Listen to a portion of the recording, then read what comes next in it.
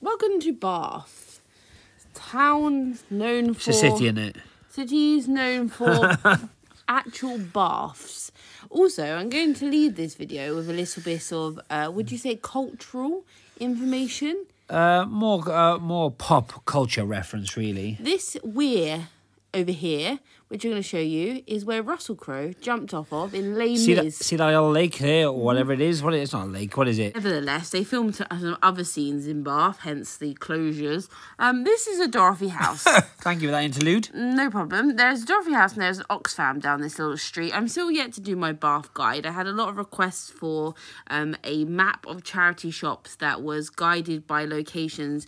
I know we can all search on Google Maps, but sometimes Google Maps doesn't make sense when you don't know where you are Yeah, no, I agree with You that. Or, or if you don't know the town.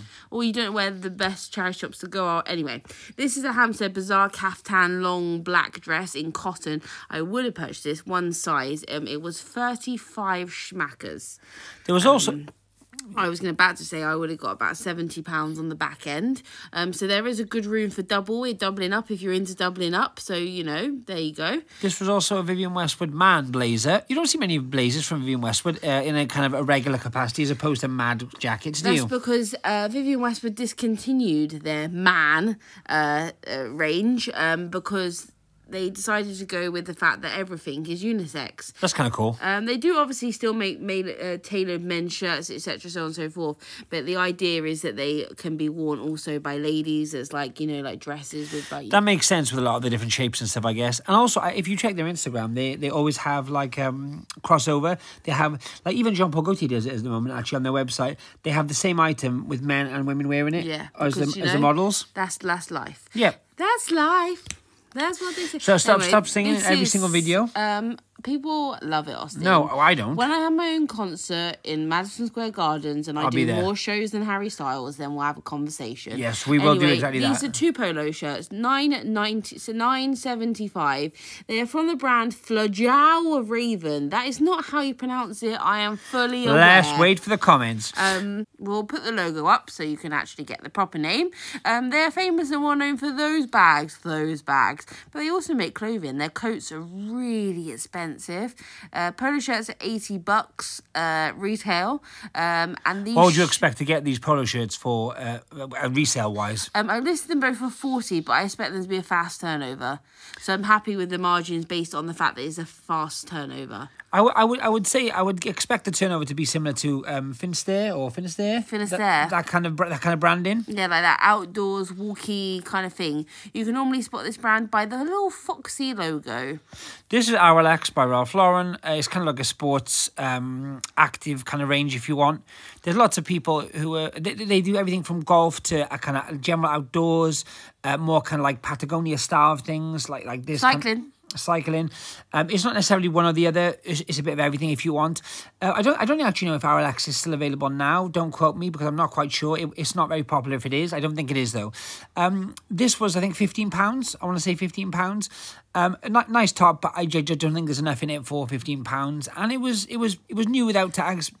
I don't know. The, my- my- cycling stuff does well though. it all does very well. I'm just saying. I, I But like, cycling does better than golf, in my opinion. well, that wasn't really either. So Okay. It was more of a tech piece. I'm Yeah, just, that's I'm just saying for the people. Yeah, I- if they find the I, cycling. I, I don't know who you'd tell that to. That's what I'm saying. A cycling piece I, is you know obviously who I for sell cy- it to? Your mum. Yeah, well, that's fair enough. She does enjoy cycling. I know. See, um, um, speaking of Ralph Lauren, uh, just a public, uh, public service announcement. That is Ralph Lauren, Lauren, Lauren. Um, this is a plaid check tartan shirt. Yeah, it's cool. It's actually known as a trim military shirt, which basically is the, the cut of the shirt and the style of the shirt, as opposed to like an Oxford or a um, Blake, a Blake, like some of the more old school names Western. here. Exactly that. Um, th- to be honest, this, this shirt, this, this shirt, this shop has a lot of shirts. It has a huge. Uh, I think Bath. Like I don't know if, it's, if it sounds stupid, but there's a lot more formal stuff in Bath. Mm-hmm. This is a denim supply shirt from Ralph Lauren. Um, that's kind of cool. The kind of whole the, the buttons up, the pocket buttons up, it buttons down. It's not for that. What? What's it not for? That's for hanging your name tag on. Oh God!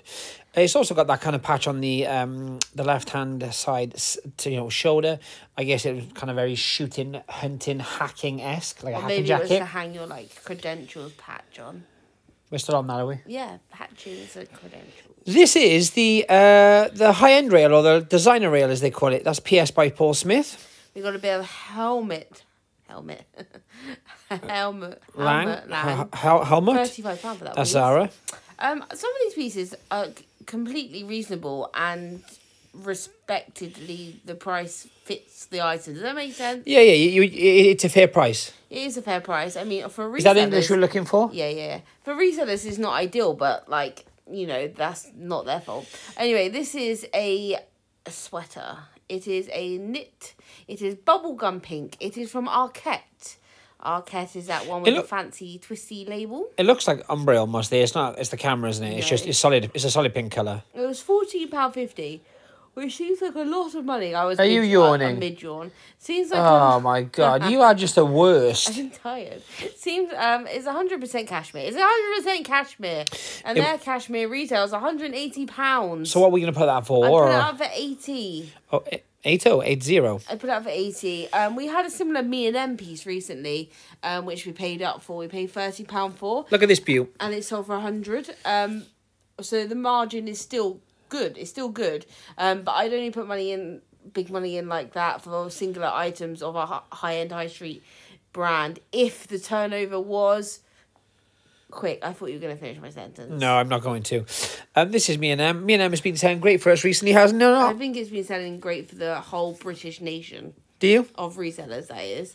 Um, me and Em's really having a moment at the moment. That's twelve pound fifty, so not a bad price at all, especially because they are doing really good numbers. However, it wasn't the most. It didn't float my boat. One me and M piece I won't be purchasing though. Having said that, would be this. Thirty five pounds. And why? Because of that. I can't see how they missed it. I've I've assumed that that happened on the shop floor. Well, someone did miss it. That's the whole point. I assume it happened on the shop floor. Oh gosh. um, a milkshake let's issue. let's we'll go with that. Let's move on. Whilst flicking through this rail, I found oh hello that's that's a severe close up there. I found a Bora jacket. It was sixteen pounds fifty. I showed you. You were pretty uninterested. So tell us why. Um, I actually don't mind Bora tweed or anything like that. I prefer it in coat or jacket form. Yep. Um, however, that was like a cropped little blazer. Not saying that sixteen pound fifty wasn't reasonable, and you could still make a good profit from it. Yeah. I just didn't want to pay sixteen pound fifty, and that's okay. Talk to me about this brand. This is cool. Seven pounds and fifty pence. Wilfred, Wilfred, this is Wilfred Free, and they also have Wilfred. Wilfred is the main line. Wilfred Free is the more ready to wear um type items. That was a fisherman knit, really nice. Pay seven pound fifty, and that should do about six fifty to sixty squids. Can't fault Uh, it. American brand. Yep. So it doesn't hasn't got the biggest sell through rate over here, but I'm hoping with the introduction of Poshmark that American brands are going to move a bit more. Look at that for a label. now this we had like a seventy four hour debate on. E- even the button placement's cool. Go on. Um, this was forty five pounds, which isn't expensive for this jacket, and it isn't expensive for this label, and it is very reasonable. However, our question was, and the, the what we were having a little to do over is, do we think the style is uh on trend enough that it would wouldn't be a long term sitter? My answer was no. Um, I just feel there's there's a lot of style features, like for example the double high lapels, uh, the way the buttons are, as much as it's a little bit different. I just didn't think it was it was it was of now enough to spend forty five pounds. I think it would have sold, and I think it could sell, and I think if styled correctly, it could be a banger. But I think you would have to have ultimate vision. I think if you had, um, You think a lot. I think if you had a uh, website or whatever where you have models and you styled it, Yes. I actually think it would have sold very quickly. I, I happen to agree with you on that, and I was I was I was speaking to someone the other day about um, having like an actual model as opposed to a mannequin or flat lay, um, and they they kind of start they don't have any pieces. They start each and every single one, um, which which obviously if you only do like maybe I don't know five ten pieces uh or so a day, it's kind of easy, um, but then also once again you got things like size and kind of um you know different styling to, uh, to, to add things to take things away. Because it sounds funny but with that jacket you couldn't you could use I suppose you could just have that jacket but the reality is you have to have other pieces for it and have other pieces for every single I think item. it look- I just think it's a long like- it's a long way of doing it you know? I think it would look rad on like Kendall Jenner with like a little white vest, high waisted jeans, and the cowboy boot. And these were kind of yeah. I agree. I, I I do know what you're saying, These but once sold. again, she is one of the world's top supermodels as we as we know right now. So I, that, most things would look right on her. ninety nine, but they've gone. They've sold.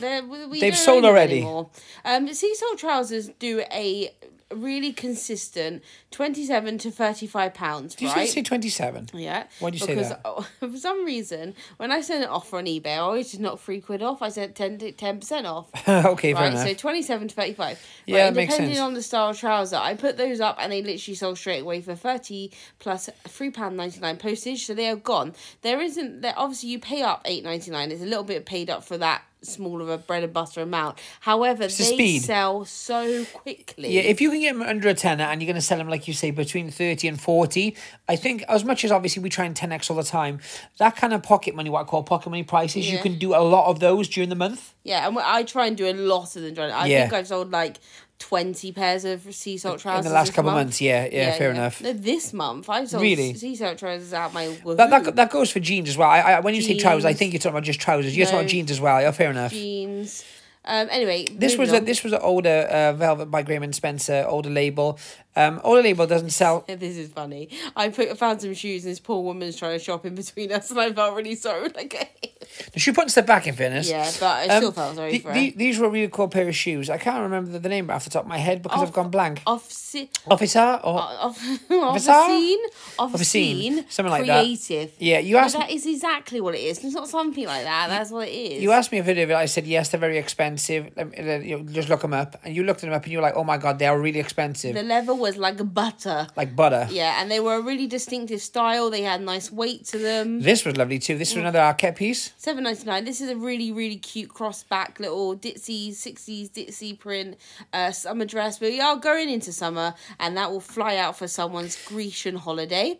Um, I was just looking up uh, retail on these shoes. So these shoes retail five fifty. Five hundred and fifty pounds.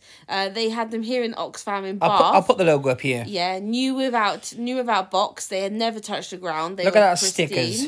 Uh, fourteen ninety nine. I've listed them for two fifty. Um, just because they are women's. Yep. They're a size eight, so they could be a crossover piece. Um, so you. I'd wear those. Yeah, I'd wear them too. But you, Yeah. but you could. They could be men's or women's. But technically, they are a lady's shoe. Okay, uh, to be honest, I wouldn't even guess that. I thought they were men. I know, but I know, I know. I know some smart somewhere saying, "Oh, well, in the ladies section." Yeah, well, there's there's there's ladies and kids sections sometimes. It makes no difference. Austin found this, very proud of him. Um, this is a high tech by Claire Campbell dress. Um, she also does high use. Uh, I saw someone had a high man the other day. Um, Interesting. High, they just do high. And when I say high, we put a logo up. It's H I G H. People shout at us sometimes for not putting logos in, and sometimes I just take it for granted. You guys have watched every single one of our videos, Yeah. um, so we'll start putting more kind of logos and stuff in for stuff which, which on won't that, know. Retail on that would have been high, about four to six hundred, depending on the piece. It's asymmetrical too, isn't it? It's asymmetrical, ruche, very largan looky, a little embroidered touches, got a pocket, pleated, um, midi length, fitted. Anyway, ten pounds. Pay ten pounds. I've listed it for hundred and seventy-five. Holy smokes! Yeah, um, and I'm hoping that should go quickly because I wedding naively, season. I naively went to this reel acting like it wasn't just New Zara. Sorry. Yeah, that was a news. You were saying. Um, yeah, they normally sell really quickly for me. I really like um buying high use. The more like ruchy or asymmetrical, the better. That's or their like vibe. Frilly or you know something like fun like that. Um, but they do lots of different things. They also do shoes. Shoes. Yeah, we actually we, we bought boots before. We haven't listed them, Austin. We, I, I didn't say we listed them. I said we bought boots before. They're just sort That was of. like last year. The boots sale. We like I we don't we have a lot. where they are. I do. Do you? I know Well, exactly where need they to are. get them out then, and we need to Why? photograph uh, those. like I I, I, I, can't I blame even. you Di- Why would you blame me? because you are the the cleaning man. They're prepared and they're ready for you to go. They've actually been in the photography room already. I don't think that's it. Yes, uh, that is an absolute lie. This is a Bora jumpsuit, which is quite nice. Uh, forty pounds. It was like it was like twelve grand. Yeah, so we weren't, we weren't buying that. When we look at Bora, I like to look at knits. It's Brora. Because it's boring. It is. It's it is Bora, but I say Bora, and I know it's incorrect, but it is how it comes out in my brain. Anyway, knits, cashmere, anything um of a knitting type of a garment, I prefer to purchase. Okay, cool. Is Good that okay with you? That's fine with me. Over to the men's section. Which in the shop usually is, to be quick, to be honest with you, downright boring. No, it's not. I love Oxfam. Yeah, no, no, this shop, I'm saying. Do you know what? I said I liked Oxfam on Instagram. Over at, at the luxury pickers the other day, and everyone like murked me and said how overpriced it is. I think Oxfam at Oxfam for clothing is fire. Oh no, I actually think I don't think the price the price is too much at all. I'm just saying that what what they have in the men's section is generally People boring. put it on rate with British Heart Foundation. No way in the world. Yeah, rude, right? Apples and tangerines, my dear. Apples and tangerines. And I like eating tangerines. well, I like peeling I like back those layers and feeling the juicy insides. Oh, there he is. there he is. Have you seen this character? Please call your nearest police station. anyway, why Austin was doing this, I found this. Boom. This is Velvet by Gray and Spencer. That's new label. Six ninety nine, and it was fully embroidered, fully beaded, Embellished, if you will. It's gorgeous. It's like got frills and it's got all sorts of things. Um, we'll look at it more in depth in a haul. I'm sure that we're meant to be filming, and we haven't filmed yet. We all, you know what? We've we've got a, we've got a day off from the small person tomorrow, and I say day off. Uh, she's not here, so I think we're going to do a haul. How about that? Okay, well, it's gonna be like two hours at this rate, though. Well, fingers crossed. Um, put a comment down below if you're up for a two hour haul. Just put haul, please. Two hour haul, please. Or put, put please no Don't- haul. Just, just, don't do a haul. Anyway, um, over in the men's section, Austin was perusing the trousers. Um, I left this clip in because I hate when trousers are hung like this. Yeah, like like even this, just trying to fight. Like, honestly, this is It's why way too much effort. it is, and uh, like it, we're resellers by nature. We are lazy people. Would you not agree? No, we put in more effort than anyone else, and we don't like doing it. So a normal person's not. That's anyway, sure. Wax London, That's Wax sure. London. I picked it up before. We did pay up on this. I think we paid too much. It doesn't matter because it is sold. Sold, Anyway, sold. um, bear in mind, I just like to say when I'm saying these things are sold, this is yesterday. Yeah, true story. Yeah. So this was nine ninety nine. Um, it is sold for thirty five pounds. I knew it was going to sell quickly. It's a very highly desired, like sort of indie brand. Um, they make sort of like utility workwear, workwear vibey stuff. Like very uh, cool, like very um rock and roll grunge, but responsible. Yeah, I agree. Like, like, it's- like it, you, I- it's almost like, like, rocker that's grown up. I would just know. I was going to say you're allowed to go to the rock concert because mum listens to the rock concert, listens to that rock band, so it's kind of okay. It's like semi cool, but not Mm. It's really like full I've got cool. a job, but I'm I'm grunge. Yeah. I'm Kurt Cobain, but I got a job. It's like the barista who wears like a leather jacket. You know what I mean? Yeah. Anyway, uh, I've sold some Breton striped jerseys from them before, and that was like a little sort of like I call it an All Saints shirt. It's like a little like grungy rocker shirt. Um, that, you know, imagine that on holiday with a little medallion. Uh, I, I, medallion or medallion? Uh, Bit- yeah, I guess. Regardless, it sold thirty five pounds, and it has left the building. Um, so that's two things already. Like paid for everything we bought there.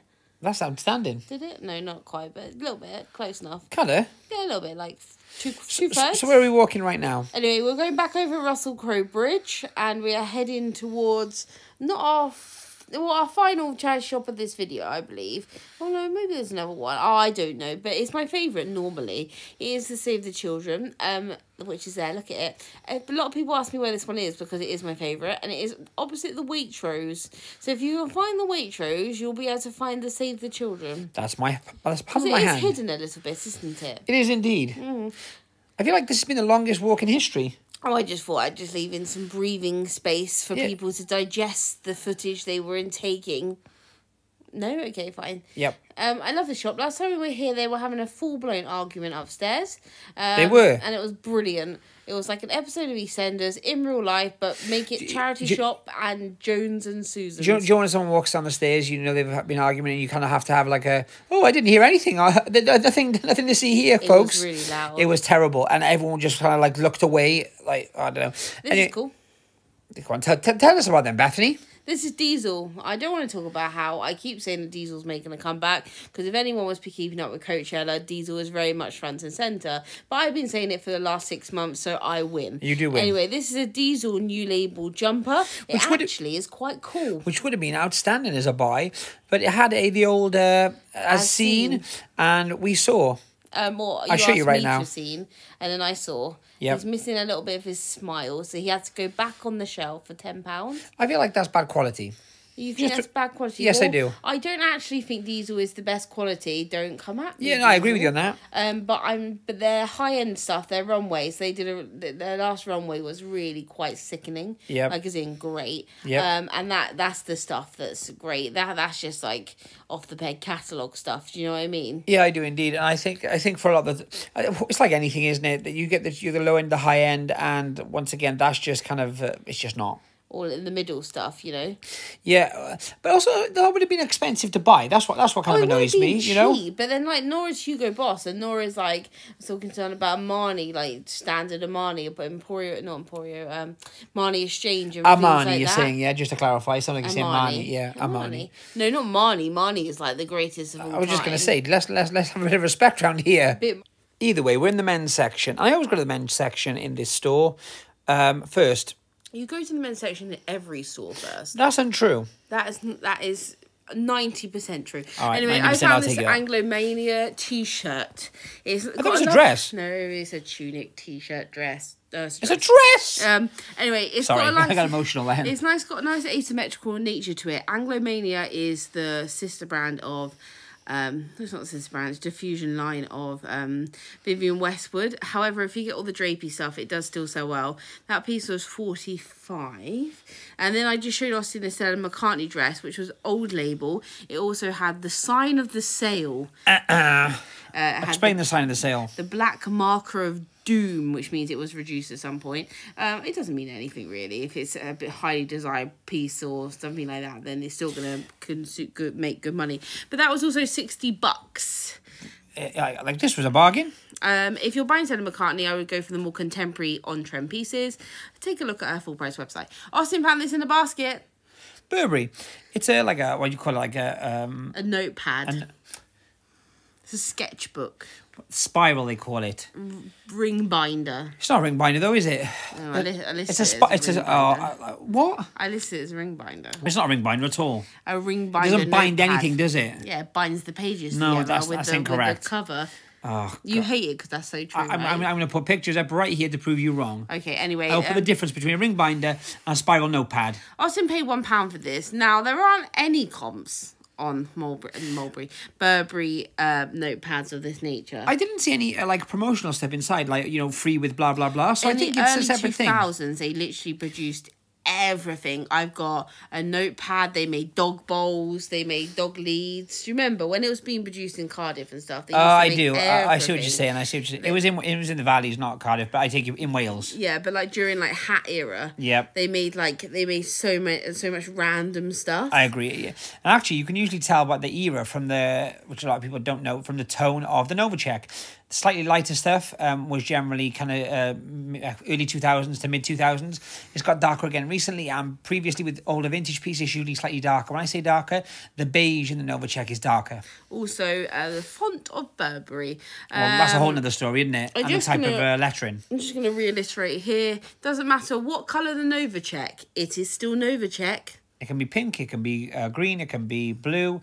Uh, the tartan, the tartan pattern, the pattern, if you will, is the Nova Check. So I shouldn't say tartan, 'cause it's not technically tartan, but either way. This was a very cool lamp you showed me. Who was this a collab with? Oh, this was um, this was an Anglepoise lamp, which um, obviously do really good money by themselves if you can pick vintage ones up or newer ones at the right price. This was a collaboration with Paul Smith. Now I want to tell you something about this, right? It was like two hundred and eighty nine pounds, which is retail what they sold for in John Lewis, who was the first people to have them. Right. I was told this by a lovely messenger, and she also let me know because absolute OG that um they did another collaboration, Anglepoise, with Margaret Howell. Interesting. And I looked them up, and they're brown. Brown. They're brown, What, like what, kind, what, kind, brown. what kind of era was that from? Do you know? I don't the know. year? They well, they still sell them. Why I ask is that's kind of contemporary. That's very contemporary. The nudes, the browns. That's quite They contemporary still sell colour them palette, full price, it? both of them. Interesting. Yeah, and um, so look out on your travels for Margaret Howell angle poise lamps. Now, stranger things have happened at sea. You may find one in a charity shop or in a second-hand shop or on Facebook Marketplace. An underrated lamp shopping place. destination. Yeah. Okay, I, I don't disagree with you. I'm just, I'm just shocked at wha- the way you're coming at me. Then Now I want to look at lamps on Marketplace. I'm Right do now. right after this video. Right after this, I'm going to go look at lamps. okay, Um, did you find anything in here? No, I don't know why, why you've left the footage in, to be honest with you. I left it in so people can like follow us round. They can enjoy talking with us. Well, they don't, missed don't, don't, us. don't, ex- they, they saw us yesterday. They miss us. I don't know about miss. I think that's a strong word for anyone to kind I of feel towards to, us. to put into perspective how much we look through in a day, Yeah, I agree. and that isn't just like oh, here's a banger, here's a banger, like here's I, a banger. I, I will say a lot a lot of um kind of picking inverted commas uh, videos on YouTube's uh, on YouTube's um end up just kind of yeah clip to one clip to the other clip to the other clip to the other and I'm not hating it I'm just saying I think it's for a lot of people then when they go out on their first pick they expect every reel to be just full of like goodness It's unrealistic, Austin. I'm showing you the downfalls, the pitfalls, the hard times. Anyway, you do pick up a Calvin Klein jacket that I wanted to just talk about briefly before we say goodbye. Okay, Um, this is a vintage Calvin Klein jacket. It's Calvin Klein jeans. Uh, it's really cool. Like I I really like the kind of stuff from this era, which they try to kind of reproduce now. Um, the buttons, the like the denim itself, it's just very different. There was actually a Barbie you were looking for, which is a Calvin Klein collab Barbie, correct from the Yeah. nineties. Anything that a Barbie's wearing, you should look out for to buy. That's the era of Calvin Klein that does well. Not I- that. I, just sold a Calvin Klein vest and Gora cashmere wool mix vest. That's a heck of a mix. Uh, Y2K.